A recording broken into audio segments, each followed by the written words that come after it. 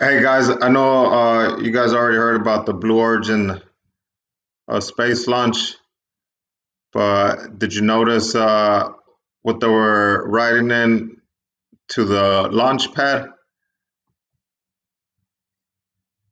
Yeah, check that out. Rivian. Well, if this isn't the biggest plug, I don't know what is.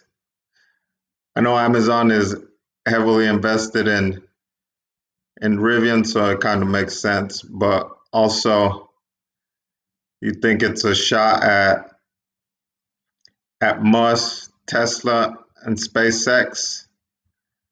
I think so. I also think that currently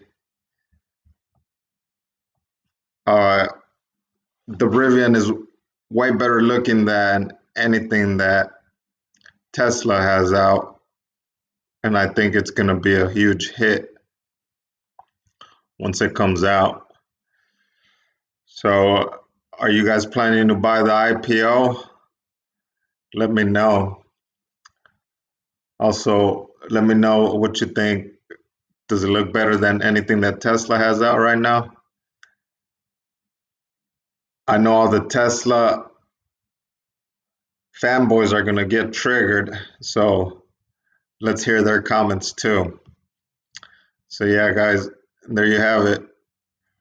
Blue Origin team riding in style to the to the launch pad in the Rivian.